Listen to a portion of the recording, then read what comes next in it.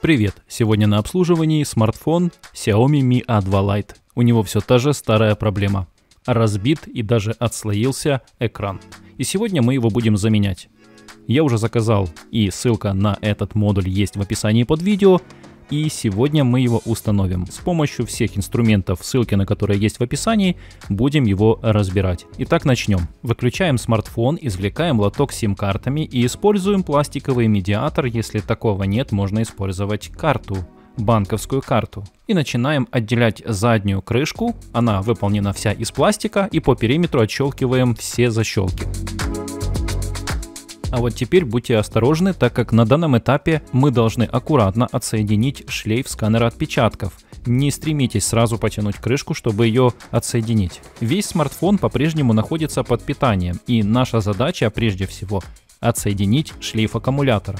Для этого необходимо открутить все шурупы на материнской плате, после этого снять все защитные кожухи и приступить к отсоединению всех шлейфов.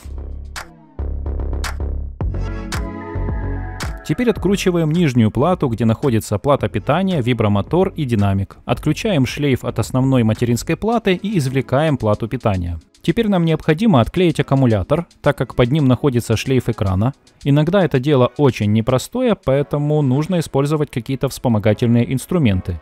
А еще лучше слегка прогреть, но не навредить аккумулятору. Аккумулятор мы демонтировали, вот он этот шлейф, отклеиваем его и теперь можем приступить к разогреву экрана для того, чтобы аккуратно отсоединить его от корпуса смартфона. Старый клей становится немного мягче. Теперь легко подсунуть какой-то пластиковый предмет и он начинает отслаиваться.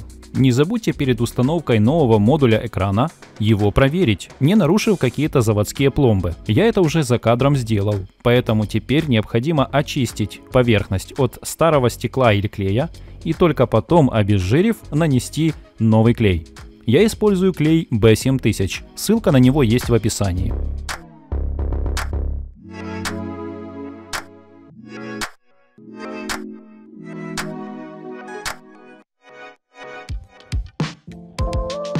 После того, как я нанес клей, я просовываю шлейф в отверстие корпуса и приклеиваю экран.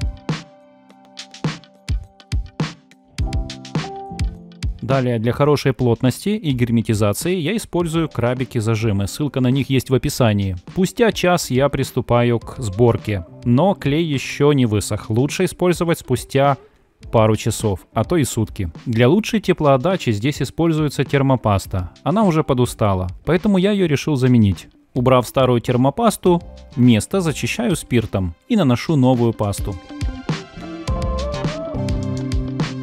Ну а далее собираю весь смартфон в обратном порядке. Озвучивать не буду, уверен вы и так все визуально поймете.